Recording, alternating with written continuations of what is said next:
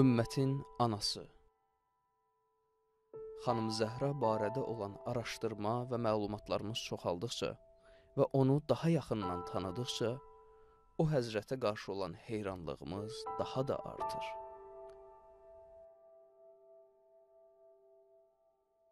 O xanımın həyatının hər bir sahəsində səy və zəhmət, həmçinin ruhun təkamül və ucalığı müşahidə olunur.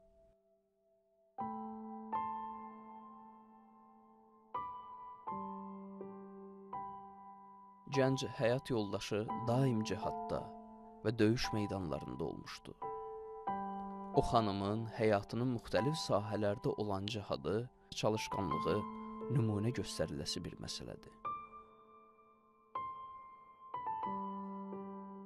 İbadəti, nitqi, elm və zəkası, hikmət və biliyi, mübarizə və cihadı hamısı bir nümunədir və bu onun hər tərəfli bir şəxsiyyət olmasının göstəricisidir. Cəmiyyətdə olan böhranlar zamanı o həzrət xalqın diqqət və müraciət mərkəzinə çevrilmişdi.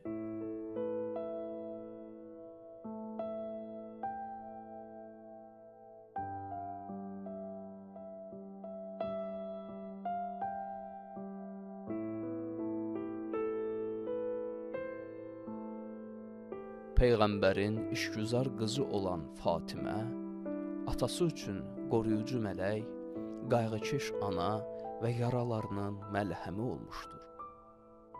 O, çətinliklərə dözüb peyğəmbərin qəm yoldaşı oldu və ağır yükləri çiynində daşıdı. Belə bir şəraitdə olmasına baxmayaraq, həyatını başı ucalıqla davam etdirdi. Həsən Hüseyn və Zeynəb kimi övladlar tərbiyə etdi.